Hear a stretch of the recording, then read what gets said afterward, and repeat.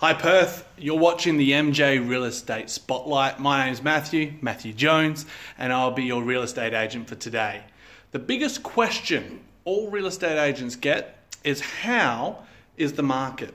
Now, if you look at the various media outlets, the majority of them will tell you that it's a crashing market and that prices have dropped by 30 to 50%, with more articles discussing the, the, the bubble bursting. Is there a bubble? I personally don't believe there is. However, we, we did need a correction in price, and we have seen that over the last 24 months.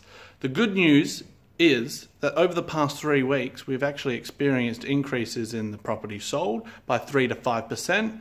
And now that might not be high, it is an improvement. So it is a change in what the market's doing with a, a reduction in sales.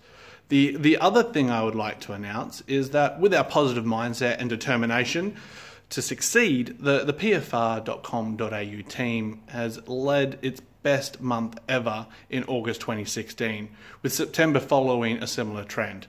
Now, that's in a downward market, a flat market, a negative market. We've actually had our best month ever as a team.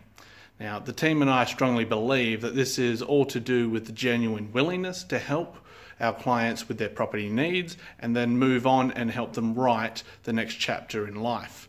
So if you need any help, may it be selling or leasing, give me a call on 0405 165 560.